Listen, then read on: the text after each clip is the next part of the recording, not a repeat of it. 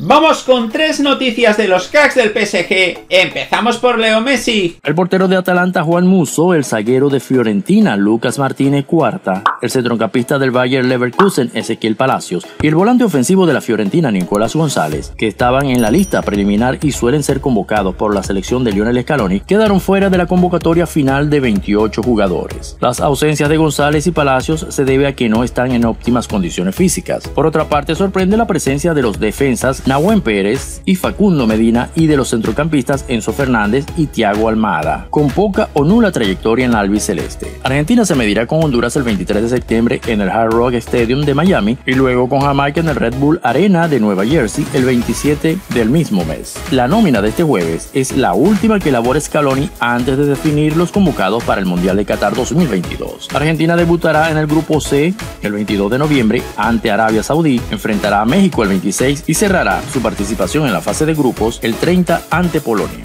Y es que aquí podéis ver precisamente el tweet de la selección argentina en el que detalla la lista de convocados de Lionel Scaloni para los dos partidos amistosos de la selección albiceleste. Vamos ahora a hablar de Neymar, que también ha sorprendido con un tweet en redes sociales. Neymar comprende perfectamente a Vinicius. A él también le ha ocurrido que después de marcar decenas de goles y celebrarlos bailando, se le ha criticado en programas de televisión y en las redes sociales por provocativo. Nada más lejos de la realidad. Su intención, como la de su compatriota, es la de exhibir su alegría en el campo y es por eso que le lanzó un guiño en su perfil de Twitter. Baja y Lavini escribió en mayúsculas en Twitter. Por la notoriedad de los dos protagonistas, el contenido no tardó en hacerse viral con miles de respuestas. La última ocasión en que el merengue pudo danzar se dio en la victoria de los suyos en la liga contra el Mallorca en casa frente al RB Leipzig en la Champions League dio una asistencia. El 10 del Paris Saint Germain también tiene motivos para estar contento con su arranque de campaña en Francia, ya lejos de esas informaciones de verano que le situaban en rampa de salida de proyecto de Cristo Galtier, ha demostrado que puede seguir siendo fundamental en la eterna búsqueda de la orejona para las vitrinas del Parque de los Príncipes. Estos dos caminos, los de Neymar y Vinicius, convergerán si nada se tuerce en el Mundial de Qatar. La selección brasileña es una de las grandes candidatas a alzarse con la gloria y con ellos dos en su plantilla hay bastantes opciones de que el equipo llega a las fases finales al ritmo de samba y buen juego. El merengue, un rato más tarde del mensaje de su amigo,